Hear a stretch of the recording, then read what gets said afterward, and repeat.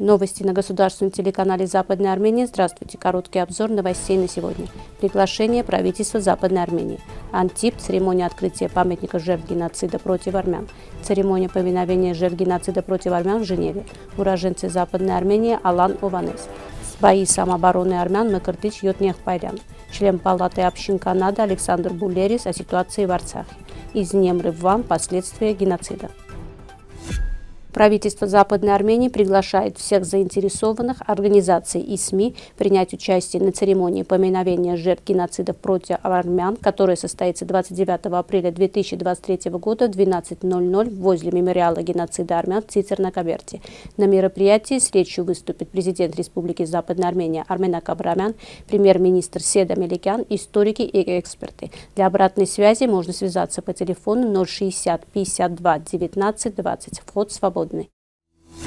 Политический деятель Жан Леонетти на своей странице Facebook написал, 108 лет назад, 24 апреля 1915 года, начался геноцид против армян, осуществленный Османской империей присутствии депутата Национального собрания 7 избирательного округа Альп-Маритима Эрика Поджи открываем мемориальный камень на кладбище Сембулес в память о полтора миллионах жертв. На памятном камне написано «В память о жертвах геноцида против армян 1915 года, армянских воинах, погибших за Францию, ветеранов Союза сопротивления». Церемония состоялась в присутствии председателя Национального совета Западной Армении Арменака Абрамяна, президента Анакас Врежа Абрамяна, Жанна Казаросяна, а также многочисленных многочисленных гостей. Выступление министра иностранных дел Республики Западная Армения госпожи Лидии Маркосян. Отец Гусан Алджанян, президент Западной Армении, уважаемый господин Арменак Абрамян, уважаемый генеральный консул Вартан Сирмакеш, депутаты парламента Западной Армении, дамы и господа, дорогие соотечественники и друзья. Мы собрались на поминальной церемонии в Женеве в память о двух миллионах жертв геноцида против армян, совершенного тремя турецкими правительствами. Память более актуальна, поскольку программа уничтожения армянского народа, начавшаяся начавшаяся в 1894 году, достигшая своего пика через 30 лет в 1923 году, не прекращалась и поэтапно продолжается. Так планируется истребление армян на родной территории. Хочу напомнить, что благодаря преданности выдающихся личностей Франция всегда была рядом с армянским народом. Мы столкнулись с глубоким недоразумением, когда господин Эммануэль Макрон в циркуляре от 24 июня 2018 года решил отменить хартию дружбы между Францией и городами Арцаха. Хочу отдать дань уважения храму храбрости господину Жан-Полю Бретта, который выступил против отмены Хартии, подписанной в 2015 году между городами Вилербан и Шуши, мэром которого он являлся. Мы, пережившие, полны решимости добиться не только соблюдения всех прав армянского народа, но и добиться истины и справедливости, без которых мир невозможен. Спасибо всем, вице-президент Национальной ассоциации армянских ветеранов и сторонников, министр иностранных дел Республики Западная Армения Лидия Маркусян. Полное выступление Лидии Маркусян доступно на нашем сайте уроженцы Западной Армении Алан Ованес. Его называли машиной, пишущей музыку. В Англии мирным американцем, в Индии и Японии армянин-искатель. Музыка Алана Ованеса доступна слушателю, наделена таинственностью и самосознанием. Считается одним из самых знаменитых композиторов 20 века. Написал 67 симфоний в сохранившихся рукописях. Количество симфоний превышает 70. 434 пронумерованных работ. Отец Аручун Чакматчан из Аданы, мать по происхождению шотландка. Франко. После долгих скитаний поселился в Бостоне. Является автором многочисленных книг, также автором одного из первого армяно-английского словаря. Два года работал в качестве главного редактора бостонской армяноязычной еженедельной газеты «Айреник». Первые произведения о Ванесса были в возрасте 4 лет. В 14-летнем возрасте, несмотря на сопротивление родителей, написал первые оперы. Родители думали, что сочинять музыку несерьезно. Если замечали, что я сочиняю, забирали ноты. Мне приходилось писать ночью в ванной или других других потайных местах и прятать от родителей, рассказал песенник. Зачастую, чтобы заработать на пропитание, играл в ресторанах и гостиницах, аккомпанимировал музыкантам и певцам. Встретившись в Бостоне с художником-мистиком Германом Ди Джованни, которого впоследствии он считает своим духовным настоятелем, советует Алану Ванесу найти свое родное армянское духовное наследие и оставаться верным своим корням. К сожалению, вдохновленный этой идеей, он сжигает 100 произведений, написанных до этого, в том числе две оперы и семь симфоний. Спустя 50 лет, комментируя свой безумный поступок, с улыбкой оправдывается. «Я должен был переехать из Бостона в маленькую квартиру Нью-Йорка, и мне нужно было избавиться от лишнего бремени». В 1940-х годах в жизни Алена Ованеса начинается армянский период. Создает оркестр, руководит им, исполняет написанные им армянские произведения. В 1950-е годы в США был известен как композитор, дирижер и пианист, регулярно получая множество заказов от известных музыкантов. Алена Ованесу присутствует присваиваются высокие академические звания и почетные докторские степени от различных престижных учреждений. Триумф записи и популярности произведения Алана Ванесса приходится на 1960-е и 70-е годы. Признан самым популярным композитором Америки. За музыкальное достижение в 1977 году становится почетным членом Американской академии литературы и искусства.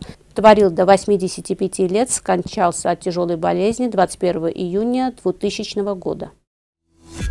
1910 году Макартыч Йотньяхпайрян создает отряд самообороны, попытки уничтожить которого правительством провалились. Позже начальник полиции УФР рассказывает, несмотря на все усилия, мы не смогли поймать Макартыча.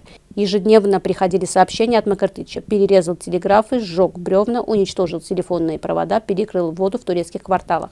Самым странным были письма, в которых он сообщал Трусы, не ищите меня в городе, отпустите невинных. Я тут, давайте познакомимся. Этот человек либо демон, либо ангел, но в любом случае он был турецким ужасом. Варварские действия турок прежде всего беспокоили Макартыча и друзей. Макартыч рассказывает одну историю. Когда в городе убивали армянских лидеров квартала, мы молчали. Сейчас мою нацию взяли под ятаган, и мы снова молчим. Что нам делать, спрашивают друзья. Мы должны бороться, а не ждать, пока нас дорежут. Несколько раз Макартыч пытался спасти жизнь арестованных правительством армян из Урфы. В частности, 8 июня 1915 года дважды подготавливал план бегства во время ссылки по пути в тюрьму 16 известных партийных деятелей, арестованных правительством. Но все категорически отказались, опасаясь за судьбу армян Урфы. 25 января правительство арестовало 100 известных деятелей интеллигенции города. Как кредитор, некоторые из них, переодевшие богатым арабам, смог пробраться в тюрьму, встретиться и представить вполне осуществленный план побега, в чем ему был отказ. 24 апреля 1915 года турецкая полиция задержала и пытала 600 представителей армянской интеллигенции Константинополя. С этого начался первый геноцид 20 века, в ходе которого погибло полтора миллиона армян. Об этом в парламенте заявил член Палаты общин Канады Александр Булери в связи со 108-летием геноцида против армян, в котором говорится. 15 сентября Талат Паша направил телеграмму, в которой сообщалось. Ранее сообщалось, что правительство по приказу Джимета решило стереть лица земли всех армян, проживающих в Турции.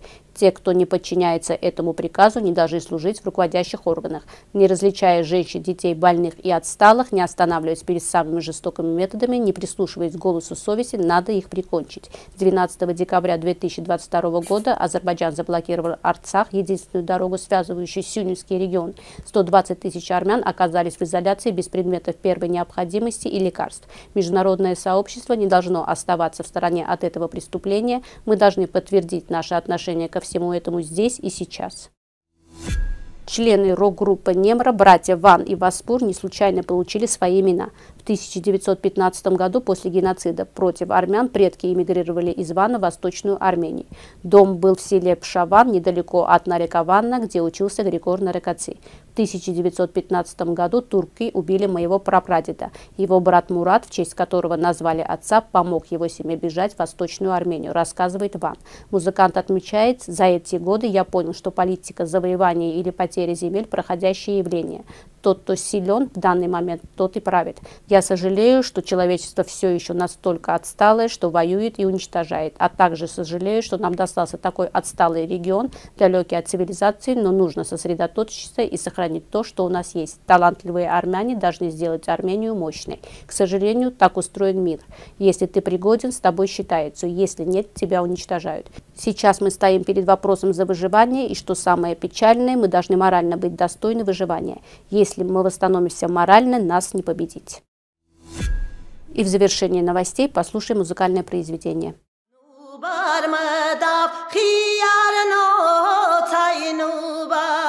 Kar et